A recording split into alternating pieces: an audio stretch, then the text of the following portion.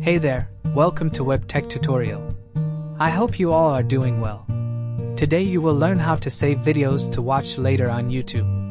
Before I start this video be sure to subscribe to this channel and do not forget to click on bell icon. So let's begin. When you're browsing YouTube, you usually come across videos you don't want to watch right this second, but you can make time for them in the future. Use YouTube's Watch Later feature to save them all in one playlist. You can think of Watch Later as a designated playlist. It has a special place in the Library tab, and it's usually easier to add a video to watch later than to add it to a playlist. You can add a video to watch later without even opening the video page.